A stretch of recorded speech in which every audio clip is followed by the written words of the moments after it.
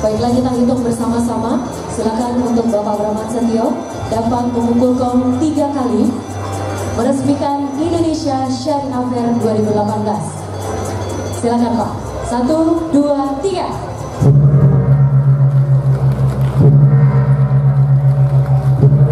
Hadirin dengan dipukulnya gong oleh maka Indonesia Syariah Fair 2018